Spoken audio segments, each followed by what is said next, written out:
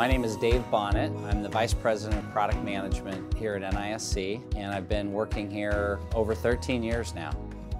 NISC not only has a great business model, but NISC is also a market leader.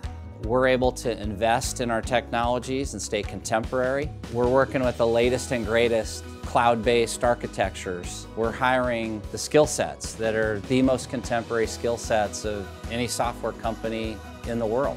What an exciting time to be in the utility business as you think about the changes that are happening with technology and distributed energy resources and electric vehicles and solar and intermittent renewable clean energy. These are exciting challenges that the world is trying to solve. And same thing with broadband. Who would have thought that small utilities in rural areas would be taking fiber to the home and making that kind of investment to dramatically change the lives of those people who live in these areas for the better.